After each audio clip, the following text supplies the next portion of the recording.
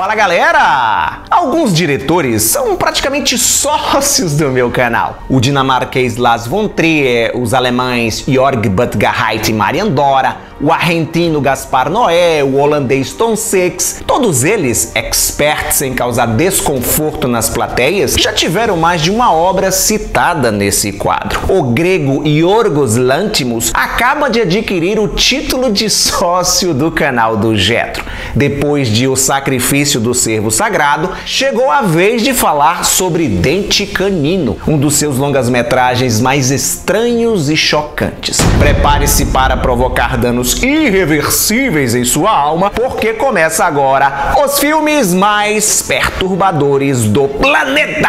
Roda a vinheta!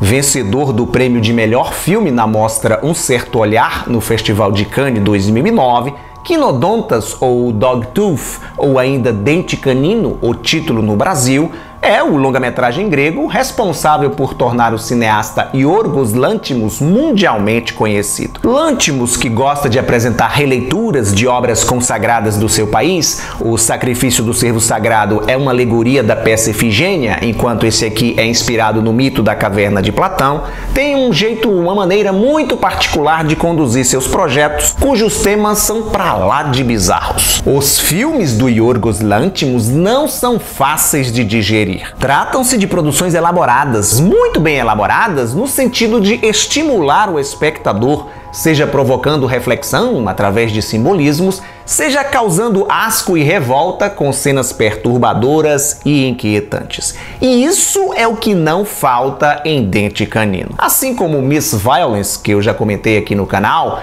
Quinodontas faz parte de um movimento cinematográfico que ficou conhecido como Greek Weird Wave, estranha onda grega em português, o equivalente daquele país ao New French Extremity, os filmes franceses de terror extremo. Ambos movimentos, inclusive, rolaram mais ou menos na mesma época, finalzinho dos anos 2000. Só que lá na Grécia, a coisa tem um caráter mais político ao mostrar as famílias, os espaços familiares fundamentados na violência. Na trama de Dogtooth, um casal isola seus três filhos, um rapaz e duas moças, numa enorme propriedade com o objetivo de mantê-los afastados das maldades do mundo. Para evitar que saiam, criam uma série de regras e ilusões, convencendo os filhos de que o universo só existe mesmo dentro dos muros que cercam sua residência. A vida enclausurada dos três envolve muitos jogos e competições entre eles. O vencedor ou vencedora recebe uma figurinha adesiva para colar colar na cabeceira da cama. Volta e meia, o pai está criando algum tipo de enriquecimento ambiental para mantê-los ocupados. O mínimo do mínimo de informação sobre o mundo exterior chega até aquela casa. E quando a informação chega, chega deturpada. Se acontece de algum deles questionar sobre algo que possa gerar curiosidade sobre determinado assunto, os pais tratam logo de inventar uma explicação estapafúrdia. O rapaz pergunta para a mãe o que é um zumbi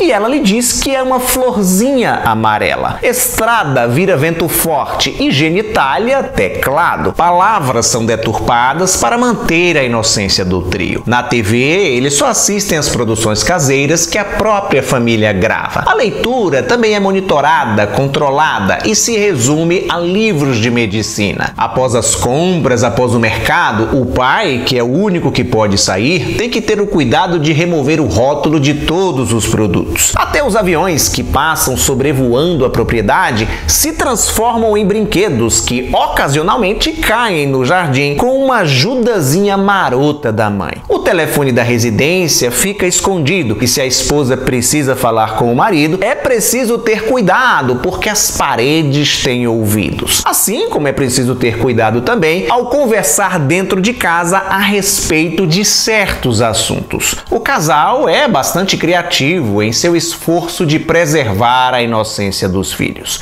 Mas não se engane, apesar desse humor provocado pela situação absurda, à medida que a trama avança, um clima desconfortável vai se instaurando até chegar o momento em que a curiosidade inata dos garotos faz com que as coisas saiam de controle. Saber mais detalhes sobre Dente Canino vai estragar sua experiência fílmica. Se o que eu contei até agora lhe deixou curioso, curiosa e você pretende assistir ao longa-metragem, recomendo fortemente que você não veja o trecho de spoilers a seguir. Para pular, basta acelerar o vídeo até essa marcação de tempo aqui.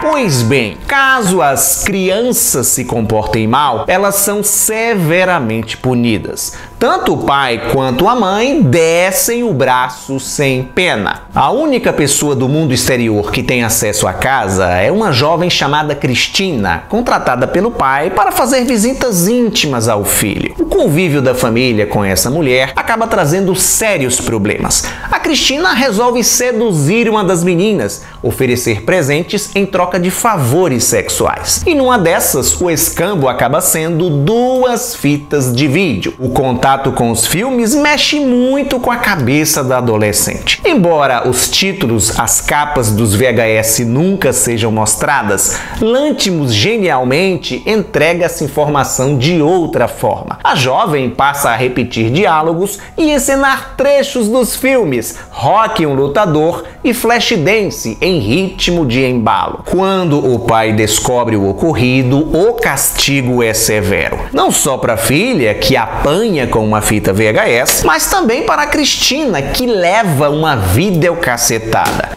O diretor grego literaliza de forma brutal o conceito de filme impactante. Da violência para o incesto é um pulo. Sem a Cristina para frear os ímpetos sexuais do filho, o casal não pensa duas vezes na hora de colocar uma das meninas para substituí-la. Uma cena de embrulhar o estômago que só rivaliza mesmo com um trecho onde um gatinho é morto a tesouradas. O bichano aparece subitamente no jardim da casa e o rapaz que nunca havia visto o animal na vida, acreditando estar defendendo sua família, o ataca com uma tesoura de jardinagem. Para contornar a situação, o pai rasga as próprias roupas, tinge o corpo com uma tinta vermelha e diz para eles que o bicho é mesmo perigoso e que precisam evitá-lo. A obra não se chama Dente Canino à toa o patriarca diz para os filhos que eles só estarão aptos, preparados para sair de casa quando um dos dentes caninos cair. E a gente sabe que isso num adulto não vai rolar. Porém, uma vez que uma das filhas experimentou o sabor da liberdade, ainda que através da sua minúscula televisão, tudo pode acontecer. Dente canino provoca uma sensação sadomasoquista no espectador. Por mais que a gente se sinta incomodado com o filme, somos impelidos a continuar assistindo. A forma como o Lantimos conduz o seu longa-metragem é hipnótica. A obra, com suas muitas alegorias, permite diversas interpretações. Talvez a leitura mais evidente seja a de caráter político, onde o pai, opressor, representa o Estado e os filhos, o povo. Para mantê-los sob controle, o medo e o terror psicológico são incutidos entre eles, além de uma série de restrições que são impostas, principalmente no que tange a conhecimento e informação. Há um momento no filme onde o patriarca vai até um canil para buscar seu cachorro que está sendo adestrado e o responsável pelo lugar lhe diz que o animal ainda não está pronto, ainda não está condicionado o suficiente. O texto é uma clara alusão ao que o pai está fazendo com seus filhos e o que certos governos fazem com a população.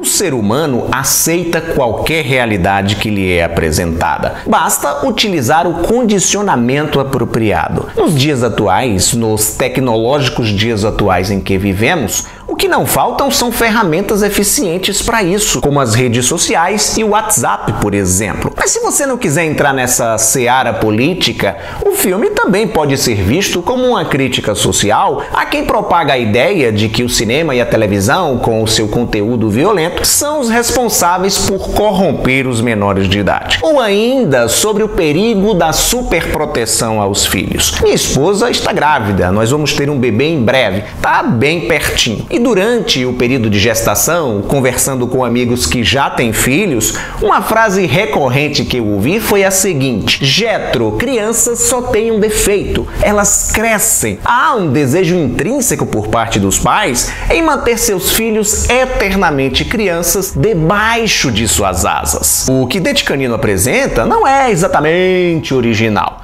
Você já viu essa história ser contada, com desdobramentos diferentes, claro, em produções mainstream como Matrix, O Show de Truman e A Vila do Shyamalan, por exemplo. O que faz toda a diferença aqui é a assinatura do Yorgos Lanthimos, que conta sua história num outro ritmo, de maneira atordoante, sem entregar tudo mastigadinho e sem poupar o espectador de cenas fortes, cenas constrangedoras de sexo, violência e maus tratos a um animal.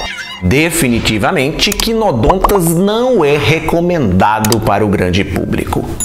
Obrigado por sua audiência. Lembre-se do like maroto, isso é legal, isso é importante, ajuda na divulgação do canal e compartilhar o vídeo com seus amigos através das redes sociais. Aproveita e me segue por lá também para você ficar por dentro das novidades.